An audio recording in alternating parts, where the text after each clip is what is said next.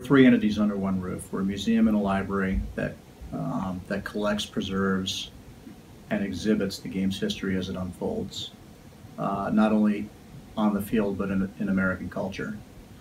Uh, we're an education facility which shows the students the great link between baseball and American culture. And we're a Hall of Fame that honors the game's greatest contributors. So our role is to really um, cover all three of those areas, and I think we do so well.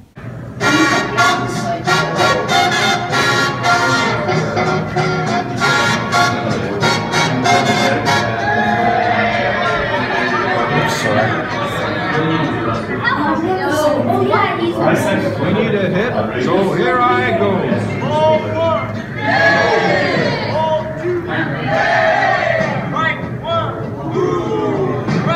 We're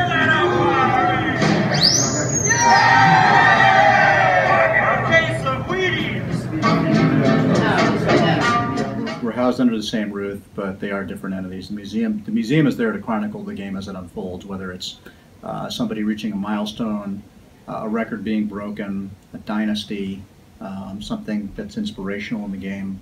The Hall of Fame pays tribute to the top one percent of those uh, in the game, so it's it's way more exclusive, uh, but there's room for both under the one roof in Cooperstown.